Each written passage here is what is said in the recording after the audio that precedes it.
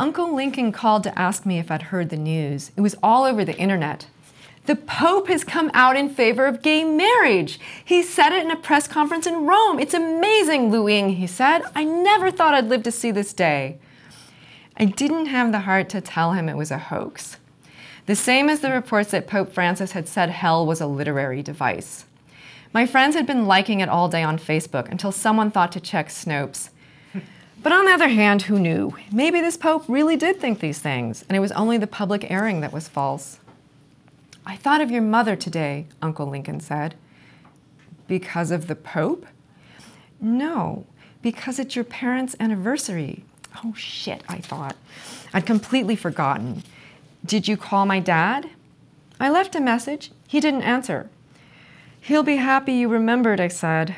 I glanced at the clock on the wall. Still time before it was midnight in New Jersey. I could call right after Lincoln hung up. Of course, he said, his voice offended. I never forget. I know, I'm sorry, I said. I always light a candle for your mother on my shrine. I've got my own ancestor altar set up, set up with pictures of Ba and Ma, and of course your mother. Did you put it up for Qingming? I said. No, Qingming is next month, Uncle Lincoln explained patiently. I keep the candle up year round. I couldn't keep track of when Chinese New Year fell, much less the festivals for the dead. It wasn't just that the lunar calendar threw me, but the fact that Chinese traditionally celebrated the dead more than the living.